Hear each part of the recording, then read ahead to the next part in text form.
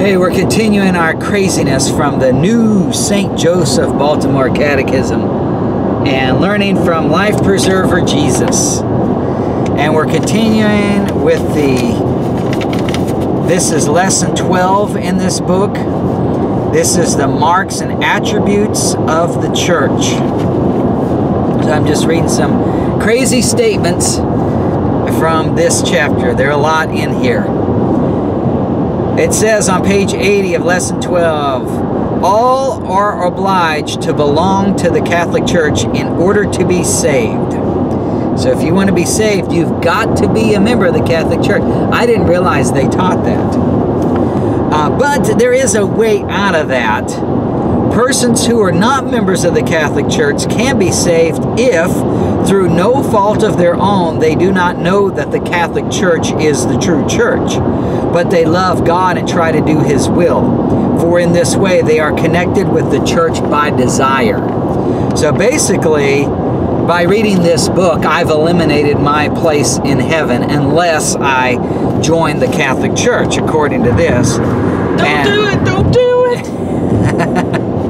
But if you, if you don't know anything about the Catholic Church, but you love God and try to do His will, then that's then God's going to um, let you in because you're you're just like the Catholic Church because the Catholic Church also loves God and tries to do His will. So you did the best you can, so we'll let you in. But if you know about the Catholic Church being the only true church, then you you got to join it or else you can't be saved.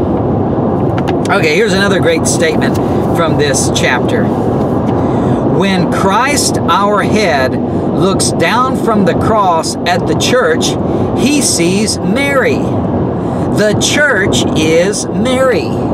She is Holy Mother Church, containing, as it were, all the members of the church in herself to unite them to Christ, our head. Mary is the mother of Christ in the flesh, but in the life of grace, she is his bride. So Jesus marries his own mother, according to this. Sounds kind of perverse. Doesn't the Bible say that you can't marry your own mother? Those who marry their own mother are guilty. Uh, it's an abomination to the Lord, and it's worthy of death. I believe the book of Leviticus talks about that. Uh, but according to this, the Christ, the most holy one of all, who has never sinned, is is going to marry his mother. Mary is the mother of Christ in the flesh, but in the life of grace, she is his bride. Her divine life came from his, not his from hers. What? Huh? Oh, I got so many. Never mind. Keep going. Keep going. What Pope Pius XII says of the church is true of her. Quote, as a second Eve, she came forth from the side of the new Adam in his sleep on the cross. End quote. What does that even mean? I was gonna say. Well, Well, okay. it goes on to tell you she is the new Eve, leading all her children to the cross, the tree of life, to drink from Christ's open side the living waters of the Holy Spirit, the new wine of holy love.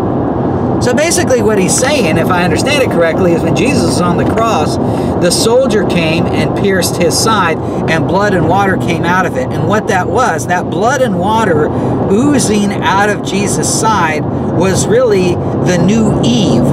It was Mary as the second Eve coming from from his side and leading all people to drink of that water and blood that came from his side. What do you think of all this? All right, let's back it up to the beginning. Number one, Jesus looks down, and Mary is supposed to be all sinners within her. Is that right? Yeah, they got it in all caps here. It says, The church is Mary.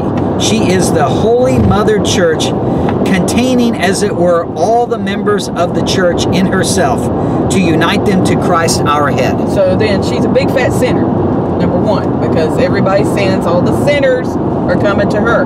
So basically, she's taking the place of Jesus because when Jesus was on the cross, he was dying. He was his blood was atoning for all the blood, the sins of the world. So now she's Jesus. Then who's on the cross? It says Jesus, but if she's being Jesus, then who's Jesus? and then she is, besides being his mama, she's his bride. Well, then, then that okay, then Jesus is God, but they don't recognize Jesus as God. So um, that, that, that goes off on so many different ways. Number one is disgusting, perverse. It's it it just it makes me mad. Makes me you know I, I, I'm stuttering because it's just so filthy, perverse, disgusting that oh we're gonna drink you know of course it's not literal but we're gonna drink the water that came from jesus' side. But didn't the verse say that when they poked him it was just water that came out? It wasn't blood? No, it was blood and water. it was blood and water. Okay. But either way so now the catholics are thinking they are besides drinking the blood of christ they're thinking they're standing picture it Jesus is on the cross. He's hovering over you on these two pieces of wood. The soldier comes up, stabs him in the side, and you're standing underneath him trying with your mouth open trying to catch the blood and water in your mouth. That's pretty how that's how that's how bad it is. That's what they're saying, yeah. She is the new Eve, leading all her children to the cross, the tree of life, to drink from Christ's open side the living waters of the Holy Spirit, the new wine of holy love. Well, Eve sinned, so really Mary is a big fat sinner, but the Catholic Church says she's holy. So if she if she sinned by saying she's the new Eve, she's Eve, well then she's I mean they're saying she's Eve, the new Eve or whatever they call it. Second Eve. Second Just Eve. like Jesus is the second Adam, Mary is the second Eve. So And that's why he had to marry her. good gosh, this is just so ugh. They have Oh. Jesus marrying his mother. yeah. Well And they have everybody else drinking blood and water from Jesus' side that Mary gives to them. It's just. oh my gosh. But the thing is, they just wrote in there in that book that Mary was a big fat sinner. Well, yeah, I have to. But they, but I- they contradict themselves. Mary's Yeah. supposed to be holy and pure and never lost her virginity and still a virgin and everything. But you calling Mary a big fat sinner. Yep. We continue.